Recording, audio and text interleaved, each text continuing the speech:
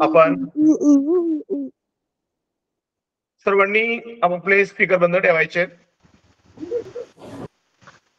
सर्वांनी आपले- सर्वांनी आपले स्पीकर बंद ठेवा. ज्याचा स्पीकर विनाकारण चालू असेल त्याला रिमूव्ह केलं जाईल. त्यामुळे सर्वांनी आपले स्पीकर बंद ठेवा. गेल्या दोन दिवसांपासून आपण पाचवी शिष्यवृत्ती. गणित विषयाच्या अभ्यासक्रमातील व्यावहारिक गणित या घटकाचा आपण अभ्यास करत आहोत. आपण पहिल्या दिवशी शेकडेवारी हा उपघटक समजून घेतला.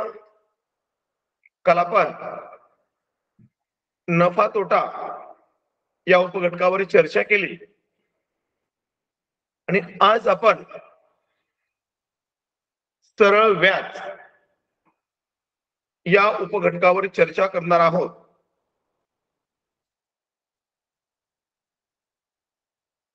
सरळ व्याज ही व्यावहारिक संकल्पना आहे जिचा संबंध व्यवहाराशी येतो.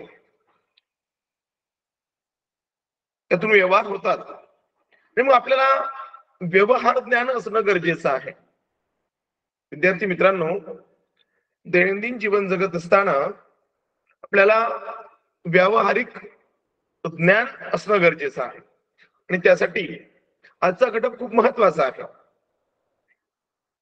सरळ व्याज यालाच व्याज असेही म्हणतात. आता व्याज हा शब्द आहे. तुम्ही जर एखाद्या बँकेमध्ये गेला असाल एखाद्या पतसंस्थेमध्ये गेला असाल तर त्या ठिकाणी तुम्ही व्याज हा शब्द ऐकला असेल. मग आज आपल्याला व्याज म्हणजे नेमकं काय? व्याजाची आकारणी कशी केली जाते? आणि व्याजाच्या व्याजाच्या संबंधित अजून काही इतर ज्या संकल्पना आहेत त्या संकल्पना आपल्याला समजून घ्यायच्या आहेत. मुद्दल म्हणजे काय? व्याजदर म्हणजे काय? कालावधी म्हणजे काय? रास म्हणजे काय? या संकल्पना आपल्याला प्रामुख्यानं सुरुवातीला समजून घ्याव्या लागते. आणि त्यानंतर व्याजाची आकारणी कशी केली जाते?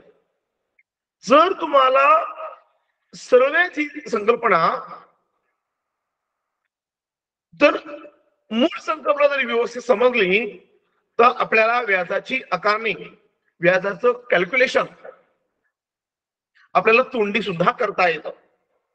परंतु त्यासाठी आपल्याला ही मूळ संकल्पना समजून येणं गरजेचं आहे. चला तर मग विद्यार्थी मित्रांनो आज आपण सरळ व्याज या उपघटकावर चर्चा करूयात.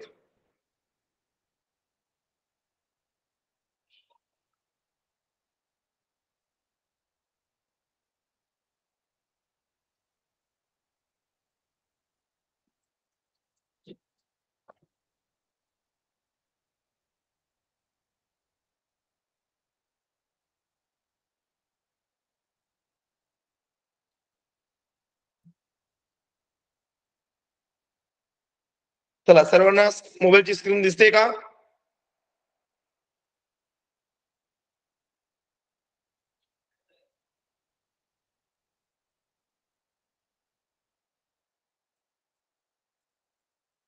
चला आता तुम्हाला सरळ व्याज हा घटक दिसेल.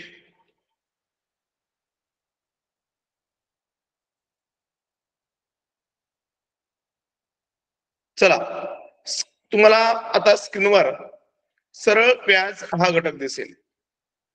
दिसतोय सर्वांना?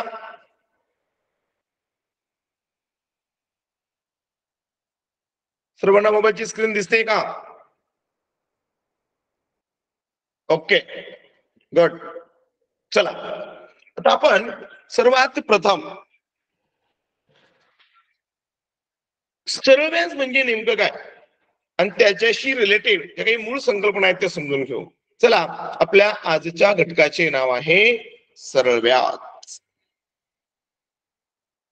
चला विद्यार्थी मित्रांनो दैनंदिन जीवन जगत असताना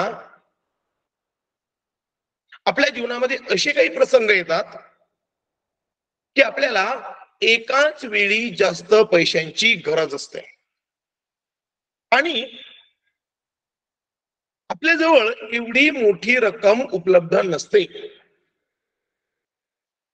मग आपल्याला नवीन घर विकत घ्यायचं असेल आपल्याला नवीन शेती विकत घ्यायची असेल आपल्याला घर बांधायचं असेल आपल्याला नवीन चार चाकी गाडी विकत घ्यायची असेल किंवा आपल्याला किंवा आपल्या घरामध्ये एखादं लग्न कार्य किंवा एखादं मोठं कार्य असेल तर या बाबींसाठी या गोष्टींसाठी आपल्याला एकाच वेळी जास्त पैशांची आवश्यकता असते. सरळ सरळ आहे. समजा आपल्याला एखादं नवीन घर विकत घ्यायचं आहे तर आपल्याला आपल्याकडे कमीत कमी तीस ते चाळीस लाख रुपये असणं गरजेचं आहे. परंतु एवढी मोठी रक्कम आपल्याकडे उपलब्ध नसते. आपल्याला नवीन शेती विकत घ्यायची असेल तर आपल्याकडे कमीत कमी वीस ते पंचवीस लाख रुपये असणं गरजेचं आहे. परंतु एवढी मोठी रक्कम आपल्याकडे उपलब्ध नसते. आपण सर्वजण सामान्य कुटुंबातील आहोत.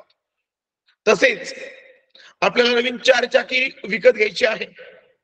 आपल्याला जर नवीन चार चाकी विकत घ्यायची असेल तर आपल्याकडे कमीत कमी दहा ते पंधरा लाख रुपये असणं गरजेचं आहे. एवढी मोठी रक्कम आपल्याकडे नसते. किंवा आपल्याला उच्च शिक्षण घ्यायला परदेशामध्ये जायचंय. आपल्याला उच्च शिक्षण घेण्यासाठी जर परदेशामध्ये जायचं असेल तर आपल्याला भरपूर खर्च येतो.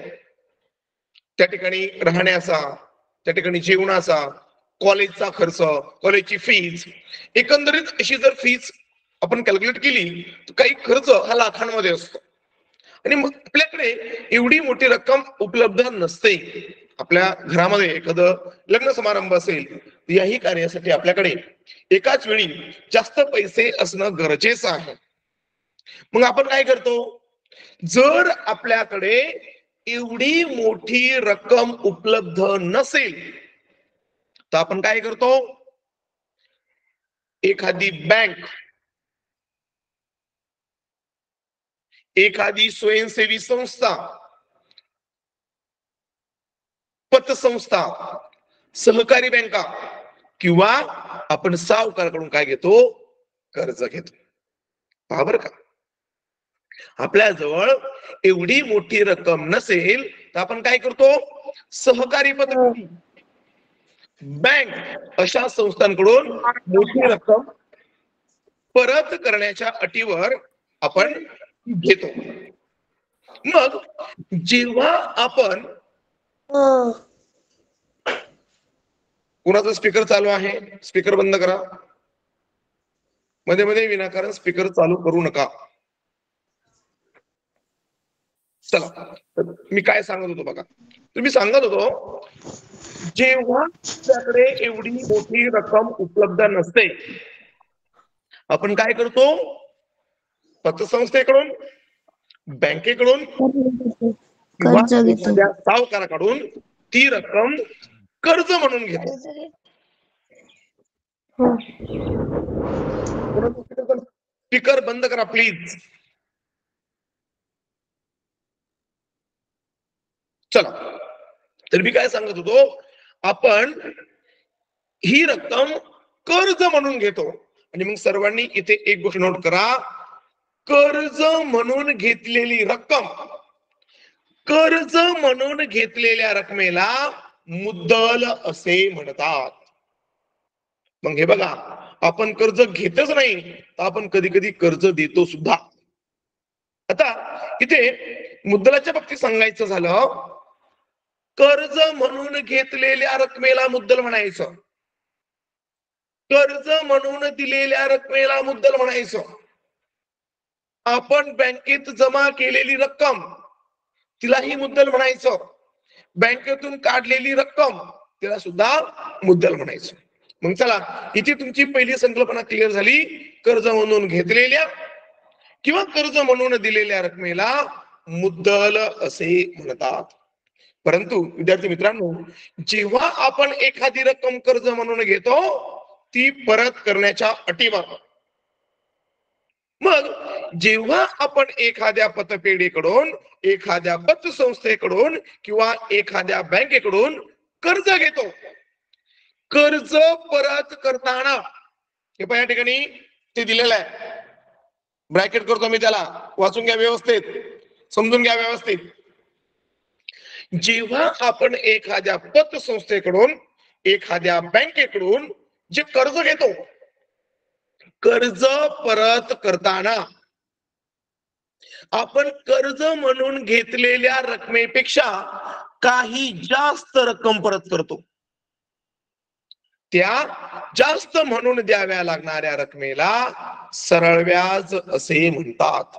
कारण जेव्हा आपण एखाद्या बँकेकडून जेव्हा आपण एखाद्या पतसंस्थेकडून एखादी विशिष्ट रक्कम कर्ज म्हणून घेतो आपण त्या बँकेची रक्कम आपण त्या पतसंस्थेची रक्कम वापरतो आपण त्या पैशांचा वापर करतो आणि त्याचा मोबदला म्हणून आपल्याला काय करावं लागतं? कर्जाची परतफेड करताना घेतलेल्या कर्जाच्या व्यतिरिक्त काही जादा रक्कम त्या पतसंस्थेला किंवा त्या बँकेला परत करावी लागते आणि त्या जास्त द्याव्या लागणाऱ्या रकमेला कर्ज म्हणून घेतलेल्या रकमेच्या व्यतिरिक्त आपण जी जादा रक्कम बँकेला परत करतो त्या रकमेला म्हणायचं सरळ व्याज किंवा व्याज. आपण एक उदाहरण घेऊ. उदाहरण घेऊन तुमच्या लक्षात येईल. चला पा काय उदाहरण आहे. उदाहरण तुमच्या स्क्रीनवरच आहे. मी त्याला ब्रॅकेट करतो.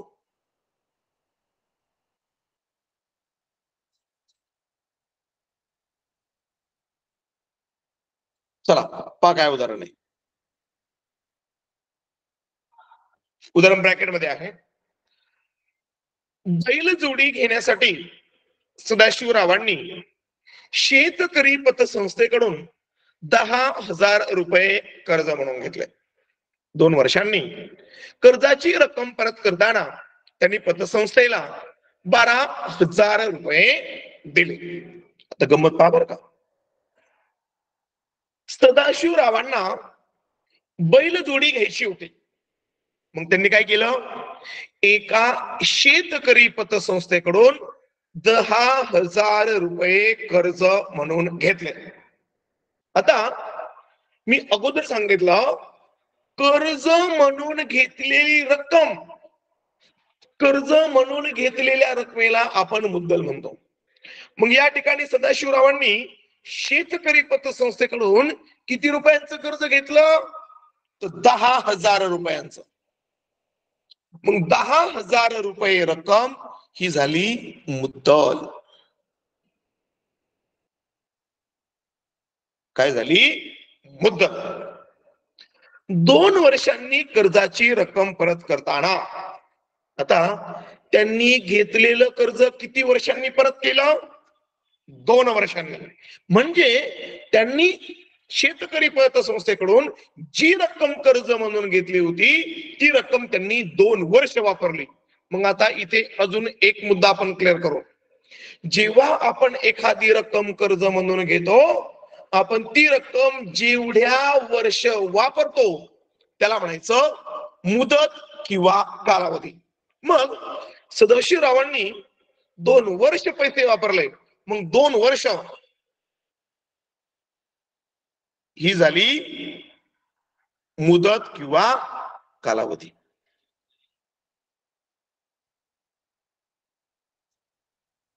चला इथे दुसरी संकल्पना तुमची आता क्लिअर होईल. आपण एखादी कर्ज म्हणून घेतलेली रक्कम किती वर्ष वापरतो याला म्हणायचं कालावधी. काय म्हणायचं? कालावधी.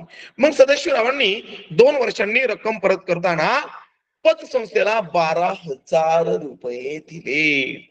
आता मला सांगा त्यांनी कर्ज किती रुपयांचं घेतलं होतं? दहा हजार रुपये. कर्जाची परतफेड करताना किती रुपये भरून कर्ज परतफेड केलं? बारा हजार रुपये. मग त्यांनी कर्ज म्हणून घेतलेल्या रकमेच्या व्यतिरिक्त किती जादा रक्कम बँकेला परत केली? तर दोन हजार रुपये. किती? दोन हजार रुपये. मग त्यांनी कर्ज म्हणून घेतलेल्या रकमेच्या व्यतिरिक्त दोन हजार रुपये जास्त बँकेला दिले. मी अगोदर सांगितलं होतं जेव्हा म्हणून घेतलेल्या रकमेच्या व्यतिरिक्त जी जादा रक्कम बँकेला देतो तिला म्हणायचं व्याज. मग दोन हजार आहे व्याज. काय? व्याज. मग त्यांनी कर्ज घेतलं होतं दहा हजार रुपये. त्यावर झालं व्याज दोन हजार रुपये. मग कर्ज म्हणून घेतलेली रक्कम आणि त्यावर झालेलं व्याज मिळून रक्कम झाली बारा हजार रुपये. मग या बारा हजाराला म्हणायचं रास. काय म्हणायचं? रास. मग इथे मुद्दल कालावधी व्याज आणि रास या तुमच्या चार संकल्पना क्लिअर झालेल्या आहेत. मुद्दल अधिक व्याज बरोबर रास.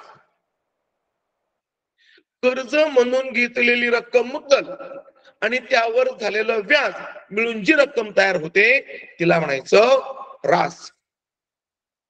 चला मुद्दल रास व्याज आणि कालावधी त्या चार संकल्पना समजल्या.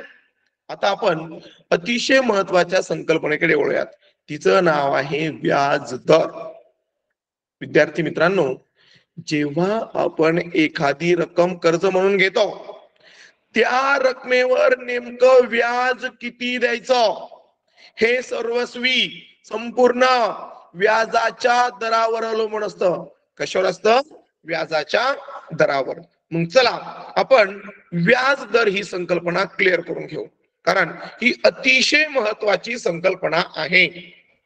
ही अतिशय महत्वाची संकल्पना आहे. कोणती? व्याजदर चला मग आपण व्याज दर नावाची संकल्पना समजून घेऊ. पा व्याज दर म्हणजे नेमकं काय? कारण जेव्हा आपण एखादी रक्कम कर्ज म्हणून घेतो त्या रकमेवर नेमकं व्याज किती द्यायचं? हे सर्वस्वी व्याज दरावर अवलंबून असतं. प्रत्येक बँकेचे व्याजाचे दर वेगवेगळे असतात. चला बघा या ठिकाणी ब्रॅकेटमध्ये दाखवतो तुम्हाला. काय म्हटलंय. कर्जावर किती व्याज द्यावे लागेल? हे किती रक्कम कर्जाऊ घेतली? यावर म्हणजे मुद्दलावर अवलंबून असते. तसेच ती रक्कम किती काळ वापरली यावर म्हणजे मुदतीवर अवलंबून असते. बर का? काय म्हटलंय? जेव्हा तुम्ही एखादी रक्कम कर्ज म्हणून घेता त्या कर्जावर किती व्याज द्यावं लागेल हे कर्जाऊ घेतलेल्या रकमेवर म्हणजे मुद्दलावर अवलंबून असत. कसं बघा? तुम्ही जर कमी मुद्दल कर्ज म्हणून घेतली तुम्हाला कमी व्याज द्यावं लागेल. जशी जशी तुमची मुद्दल वाढत जाईल तस तस तुमचं व्याज वाढत जाईल. मुद्दल वाढली की व्याज वाढणार. तसेच ती रक्कम किती काळ वापरली? यावर म्हणजे मुदतीवर सुद्धा अवलंबून असते. जर तुम्ही कमी कालावधीसाठी जर कर्ज घेतलं तर कमी व्याज द्यावं लागेल. जास्त कालावधीसाठी जर तुम्ही कर्ज घेतलं तर तुम्हाला जास्त व्याज द्यावं लागेल. जसा कालावधी बदलेल जसा कालावधी वाढेल तुम्हाला व्याज जास्त द्यावं लागेल. कालावधी वाढला की तुमचं व्याज वाढेल. तसेच तसेच एखाद्या रकमेवर व्याजाची आकारणी करताना प्रमुख जी बाब आहे ती म्हणजे व्याजाचा दर. पहा व्याजाचा दर म्हणजे काय? तुमच्या स्क्रीनवर तुम्हाला दिसेल.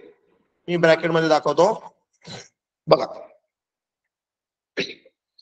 व्याजाचा हिशोब करण्यासाठी कर्ज देणाऱ्या संस्था प्रत्येक वर्षासाठी त्याला आपण म्हणतो दर साल.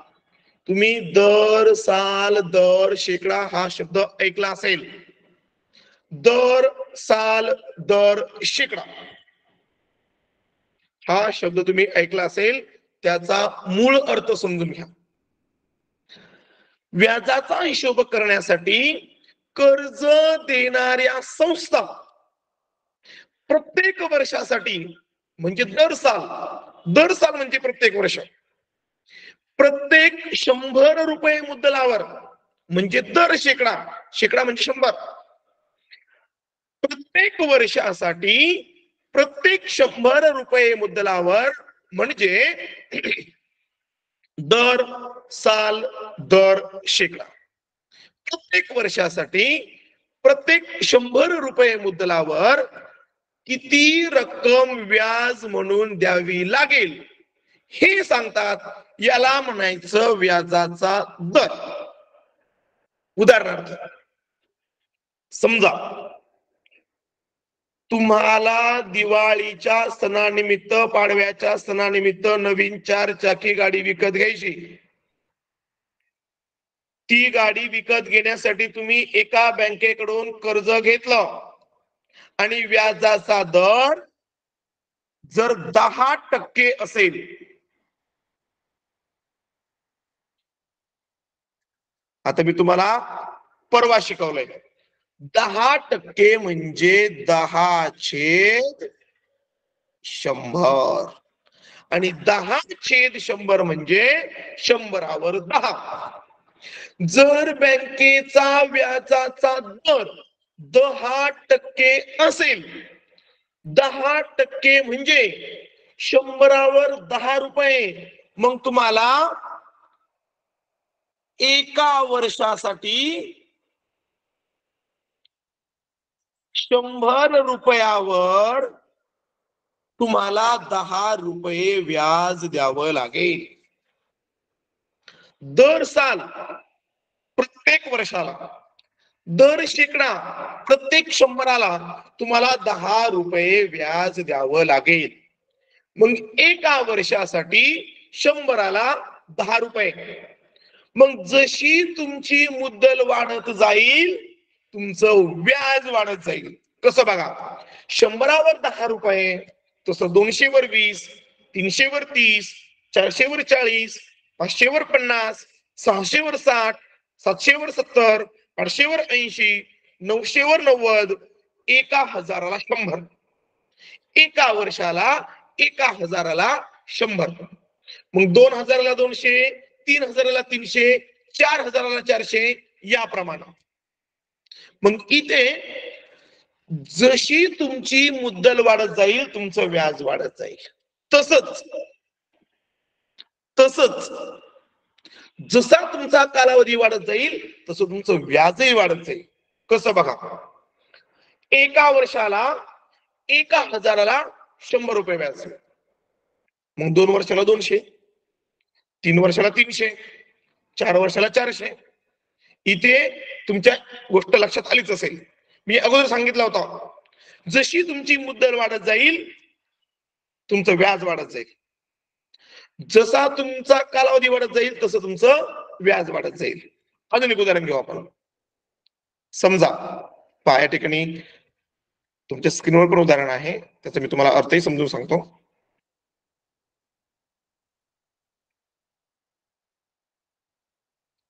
हा एकच मिनिट वेट करा. चला आपण पुढचं उदाहरण घेऊ. तुमच्या लक्षात येईल ते?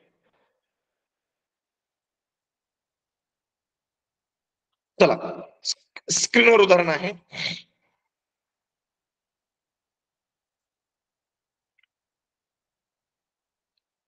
कारण बेसिक फार महत्वाचं आहे. बेसिक एकदम महत्वाचं आहे. चला. मी उदाहरण ब्रॅकेटमध्ये गेले. केले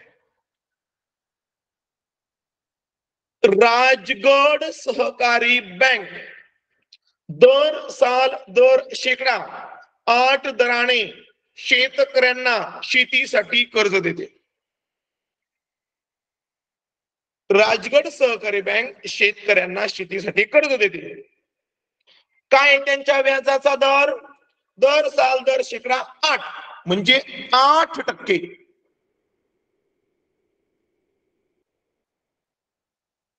आठ टक्के म्हणजे आठ छेद शंभर.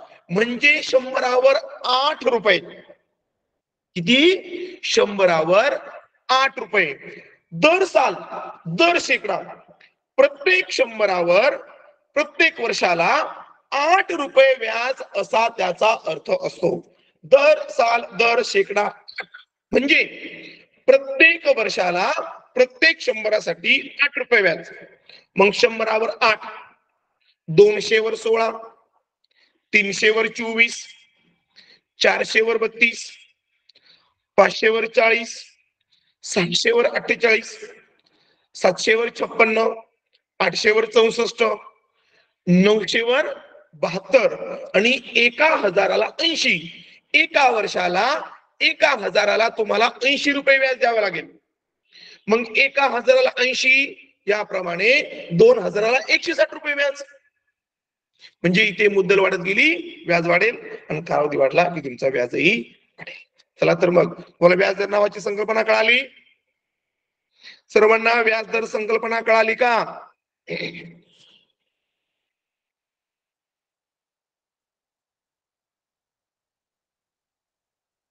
मेसेज करून सांगा.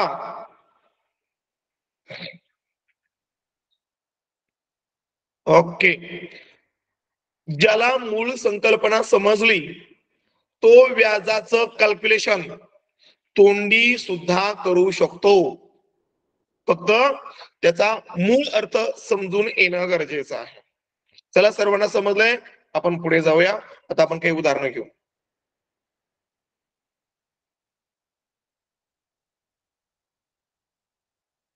चला. आता आपण पुढच्या मुद्द्याकडे वळूया. मुदतीनुसार व्याजाची आकारणी कशी करायची? बरोबर का. मुदतीनुसार व्याजाची आकारणी. एकदम सोपं आहे. ठराविक मुद्दलावर दोन वर्षाचे व्याज हे एक वर्षाच्या व्याजाच्या दुप्पट असणार आहे. म्हणजे मुदत जितकी पट तितके पट तुम्हाला व्याज द्यावं लागेल. म्हणजे कसं बघा? एका हजाराला जर शंभर रुपये व्याज तर दोन हजाराला दोनशे रुपये. कसं बघा? जर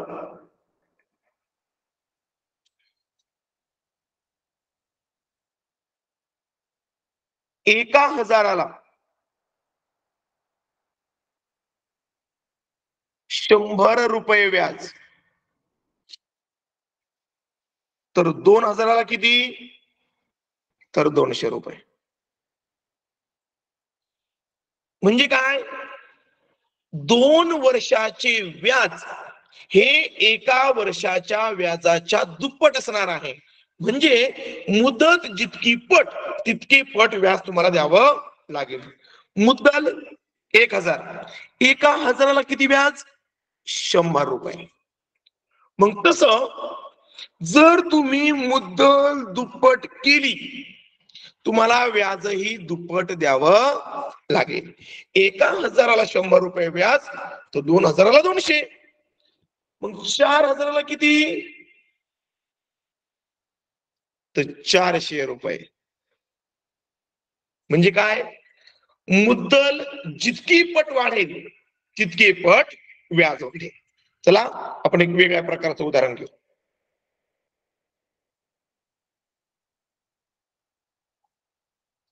पा उदाहरण तुमच्या स्क्रीनवर आहे त्याला मी आता ब्रॅकेट करतो आणि आपण ते समजून घेऊ. चला पा काय उदाहरण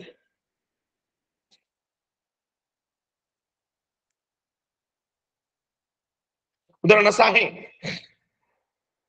दर साल दर शेकडा चौदा दराने शंभर रुपयावर तीन वर्षात किती व्याज होईल? आता इथे व्याजाचा दर आहे दर साल दर शेकडा चौदा. म्हणजे चौदा टक्के.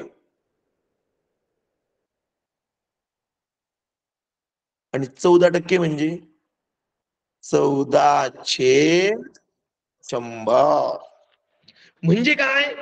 तुम्हाला शंभर रुपयावर चौदा रुपये व्याज द्यावं लागेल. एका वर्षासाठी. बाबर का. एका वर्षासाठी.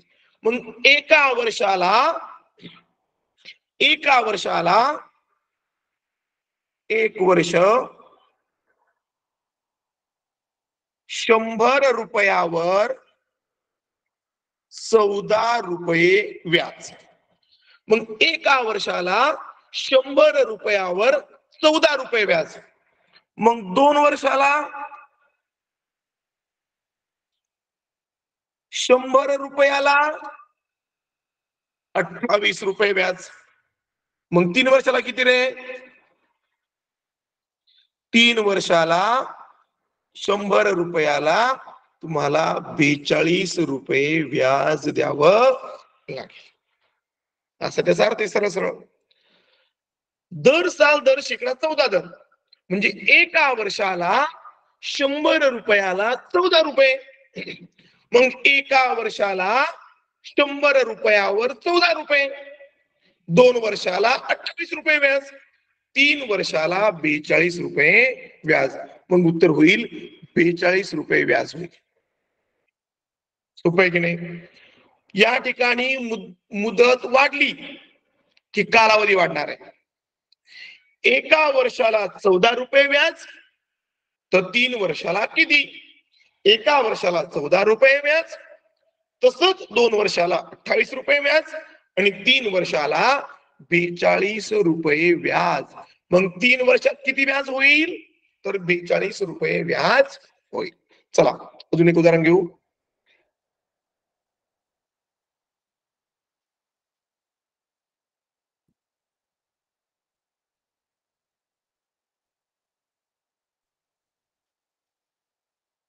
चला खाली उदाहरण घेतले आपण अजून एक.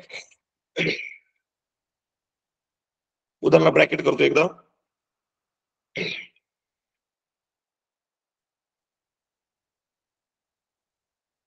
चला काय उदाहरण आहे बघा.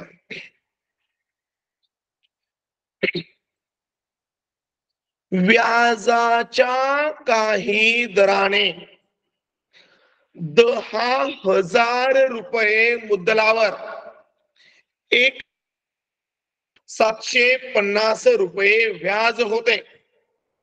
तर त्याच मुद्दलावर चार वर्षात किती व्याज होईल? व्याजाच्या काही दराने दहा हजार रुपये मुद्दलावर एका वर्षात सातशे पन्नास रुपये व्याज. तर त्याच मुद्दलावर म्हणजे या ठिकाणी मुद्दल बदललेली नाही. चार वर्षात किती व्याज होईल? आता बघा बर का. कालावधी किती आहे? एक वर्ष व्याज किती आहे? सातशे पन्नास रुपये. बाबर का गम्मा दादा. मुदत म्हणजे कालावधी एक वर्ष आणि एका वर्षाचं व्याज किती? सातशे पन्नास रुपये. मग तुम्हाला त्याच मुद्दलावर मुदल बदललेली नाहीये. चार वर्षात किती व्याज होईल? आता कालावधी किती झालाय? चार पट. कालावधी झालाय चार पट. आता कालावधी किती आहे? चार वर्ष. मग आता मला सांगा कालावधी झालाय चार पट. कालावधी झालाय चौपट. मुदत झालीये चौपट. मग व्याज सुद्धा चार पटीनेच वाढेल. कालावधी चार पटीने वाढला मग व्याज सुद्धा चार पटीनेच वाढेल. मग आपल्याला सातशे पन्नासची चार पट काढायची आहे. मग सातशे पन्नास गुणिले चार. उत्तर येईल तीन हजार रुपये. मग चार वर्षाचे व्याज आहे तीन हजार रुपये. मग चार वर्षात चार हजार माफ करा चार वर्षात तीन हजार रुपये व्याज होईल कारण कालावधी चारपट वाढला मग व्याज चार पटीनं वाढेल. सातशे पन्नास चे चार पट तीन हजार मग चार वर्षात तीन हजार रुपये व्याज होईल. कळलं सर्वांना उदाहरण?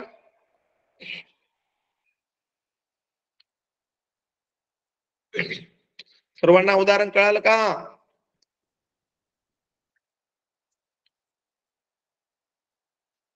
अरे वा छान व्हेरी गुड शब्बास व्हेरी गुड अतिशय सुंदर उत्तर मुलाने दिलीत. तुमचं विशेष कौतुक आणि अभिनंदन सुद्धा. चला आता आपण पुढच्या मुद्द्याकडे वळूयात.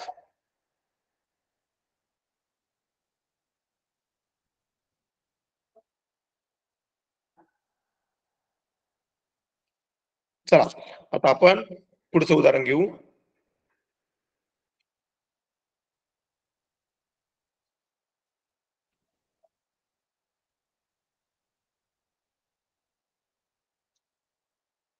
पहा काय पुढचं उदाहरण. चला पुढचा टॉपिक आहे. मुद्दल आणि मुदतीनुसार व्याज. मुद्दल आणि मुदतीनुसार व्याज. चला. आपण व्याजाची आकारणी. मुद्दल आणि मुदतीनुसार करू. काय प्रश्न आहे बघा. दर साल दर शेकडा. आठ दराने पाच हजार रुपये मुद्दलाचे तीन वर्षांचे व्याज किती होईल? चला मुद्दल आहे पाच हजार रुपये. व्याजाचा दर आहे आठ आणि मुदत आहे तीन वर्ष. मुदत म्हणजेच कालावधी. या उदाहरणामध्ये मुद्दल आहे पाच हजार रुपये व्याजदर आहे आठ टक्के आणि कालावधी आहे तीन वर्ष. आपल्याला दर साल दर शेकडा आठ दराने पाच हजार रुपये मुद्दलाचे तीन वर्षांचे व्याज काढायचे आहे. त्यासाठी सूत्र सुद्धा आहे आणि ते सगळ्यांना माहिती आहे. सूत्र आहे मुद्दल गुणिले दर गुणिले कालावधी त्याला भागिले शंभर. विद्यार्थी मित्रांनो या सूत्राचा वापर करून तुम्ही व्याज काढू शकता. चला आपण सूत्रामध्ये किमती टाकू. मुद्दल आहे पाच हजार रुपये.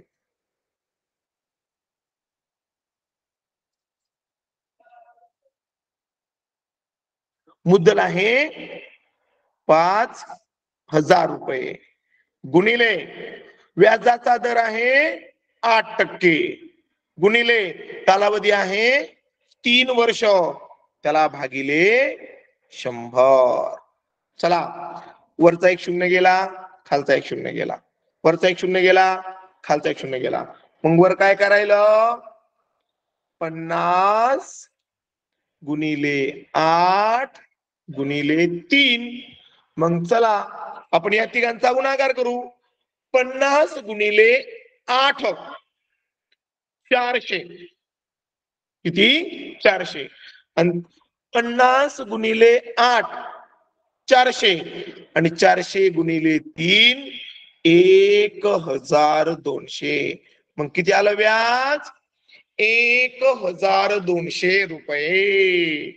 अशा पद्धतीने मी सूत्राचा वापर करून सुद्धा उत्तर काढू शकता. समजले सर्वांना उदाहरण? पा स्क्रीनवर उदाहरण सर्वांना व्यवस्थित समजलं का?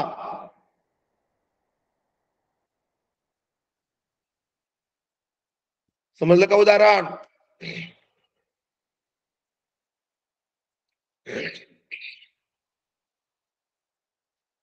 व्हेरी गुड बर. व्हेरी गुड बऱ्याच मुलांनी उत्तर अगदी बरोबर काढली आहेत. बर.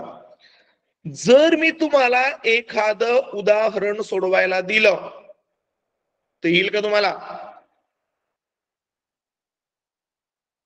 देऊ का उदाहरण सोडवायला? ओके. लगेच. आता मी काय करतो तुम्हाला एक उदाहरण सोडवायला देतो. बघूया कोणाकोणाला येत आहे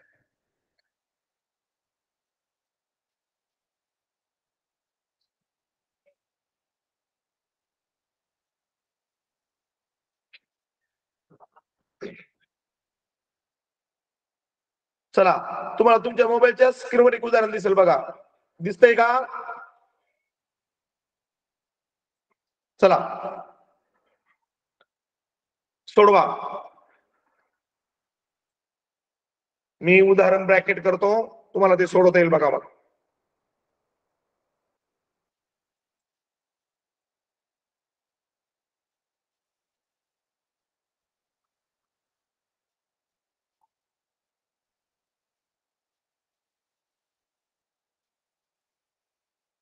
चला मी उदाहरण ब्रॅकेटमध्ये दाखवलंय.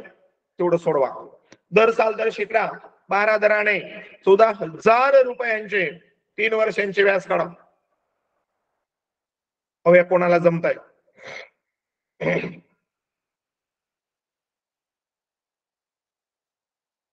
ज्याचं उत्तर काढून होईल त्यानं मेसेज करायचा आहे.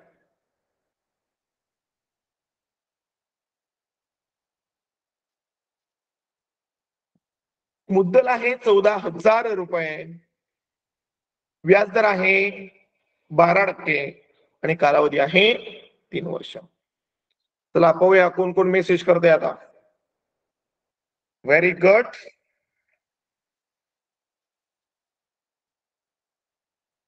आपल्या इयत्ता पाचवीचे ऑनलाईन क्लासचे सर्वच विद्यार्थी मला अतिशय हुशार वाटतायत. कारण अतिशय सुंदर उत्तर तुम्ही काढतायत. तुमचं खूप खूप कौतुक बाळांनो. तुम्ही असंच तुम्ही अशीच उत्तर जर परीक्षेला बरोबर काढली तुम्हाला खूप चांगले मार्क्स मिळतील. आणि तुम्ही गुणवत्ता यादीमध्ये याल. आणि आपल्या अहमदनगर जिल्ह्याचं नाव हे संपूर्ण राज्यामध्ये पहिल्या क्रमांकावर असलं पाहिजे. त्यासाठी सगळ्यांनी प्रयत्न करायचे. छान अभ्यास करायचा आहे.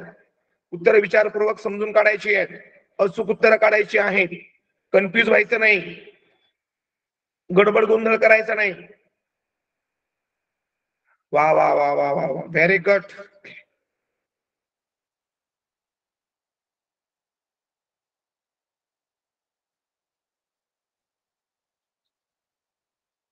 सर्वांनी सहभाग घ्यायचा आहे. सर्वांनी उत्तर काढून पाठवायचं आहे.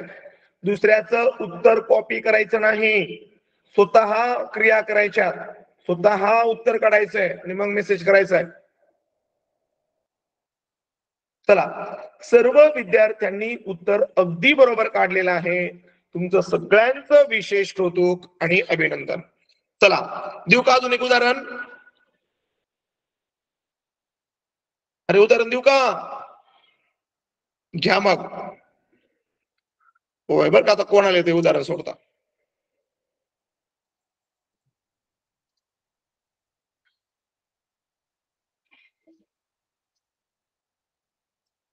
चला. आता थोडं वेगळ्या प्रकारचं उदाहरण आहे. पाहूया तुम्ही उत्तर काढताय की नाही. चला. तुम्हाला तुमच्या स्क्रीनवर उत्तर दिसेल बघा. हा. चला मी ब्रॅकेट पण करतो.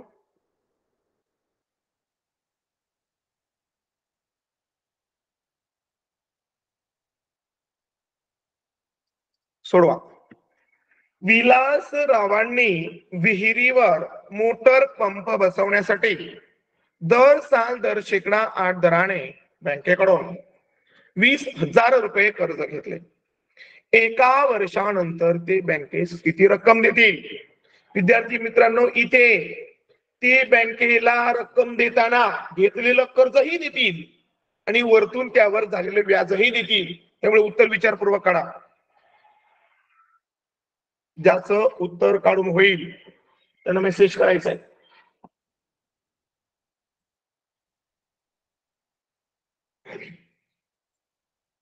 या उदाहरणामध्ये मुद्दल आहे वीस हजार रुपये.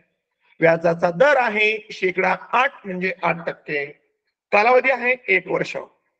अगोदर दर साल दर शेकडा आठ दराने वीस हजार रुपये रकमेवर एका वर्षाचे किती व्याज होईल याचा शोध तुम्हाला अगोदर घ्यावा लागेल. त्यानंतर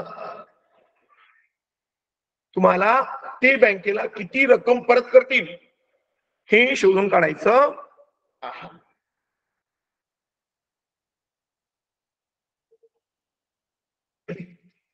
उत्तर काढून झाल्यावर मेसेज करा.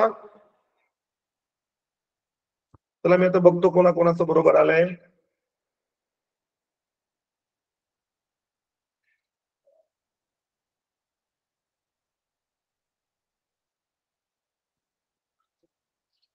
उत्तर विचारपूर्वक काढा.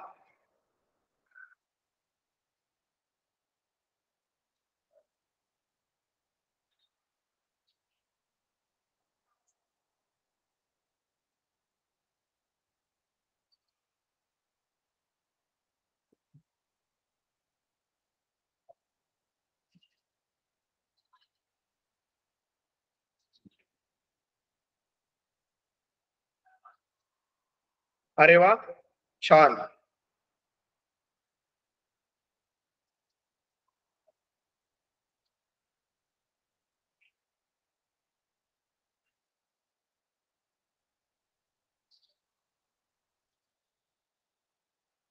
मला अगोदर पहिल्या प्रश्नाचं उत्तर द्या.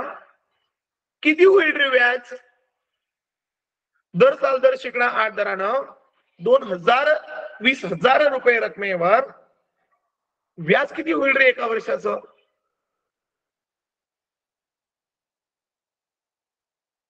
अरे वा. खरंच मुलं हुशार आहेत बरं का पाचवीचे. छान.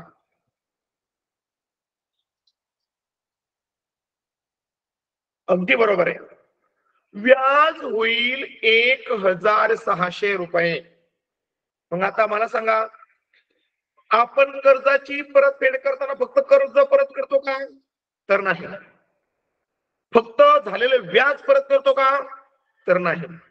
जेव्हा आपल्याला कर्जाची परतफेड करायची आहे तेव्हा आपल्याला घेतलेलं कर्ज अधिक त्यावर झालेलं व्याज मिळून जी रक्कम तयार होते आपल्याला ती परत करावी लागते. सांगा बरं त्या रकमेला काय म्हणता तुम्ही? कर्ज म्हणून घेतलेली रक्कम अधिक त्यावर झालेलं व्याज याला काय म्हणता रे तुम्ही?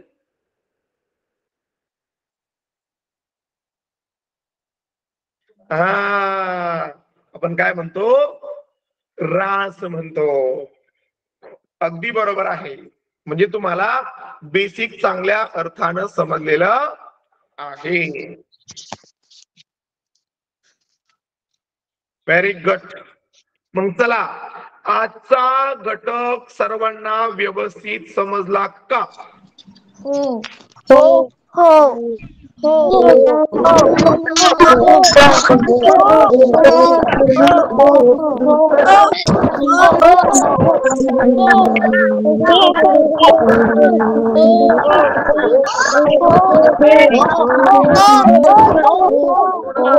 yes, sir. Yes,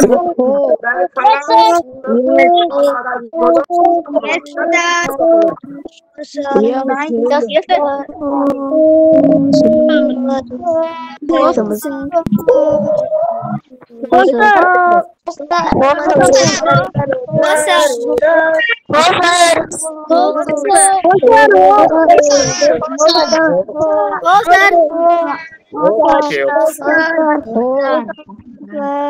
हो हो हो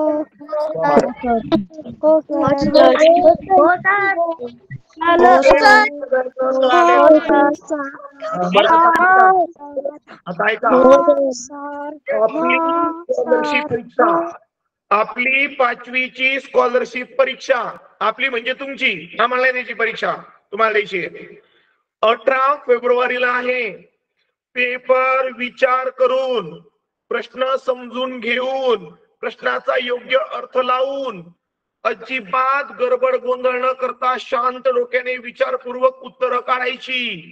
ती व्यवस्थित उत्तर पत्रिकेवर नोंदवायची आणि खूप मार्क्स मिळवायचे. तुम्हाला सर्वांना परीक्षेसाठी खूप खूप शुभेच्छा. तुम्ही चांगले मार्क्स मिळवणार आहात. याची आम्हाला गॅरंटी आहे. कारण तुम्हाला गेल्या दीड महिन्यापासून संपूर्ण जिल्ह्यातील अतिशय तज्ञ शिक्षक तुम्हाला अध्यापन करायचं काम करतायत.